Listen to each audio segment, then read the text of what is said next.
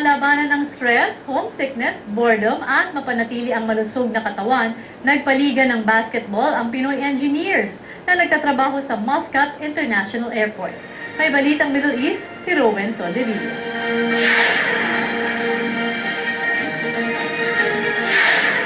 Sila ang mahigit anim na pong Pinoy na nagtatrabaho sa Muscat International Airport, ang pinakamalaking airport dito sa Oman na inaasang matatapos sa 2014. Anim na araw sa isang linggo ang kanilang trabaho, kung kaya't nakakaramdam sila ng stress at pagkabagot pagkatapos ng kanilang trabaho.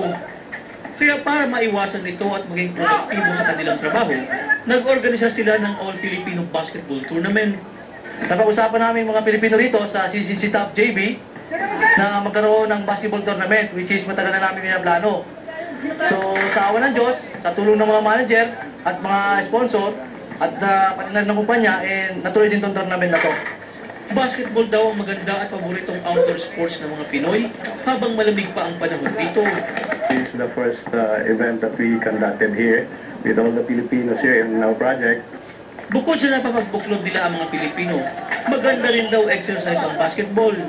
Ito isang uri na ng exercise kahit na medyo may edad na eh maglalaro pa ng basketball. Apat na kumpunan ang lamok sa natawrang torneo at tatagal ito ng dalawang buwan.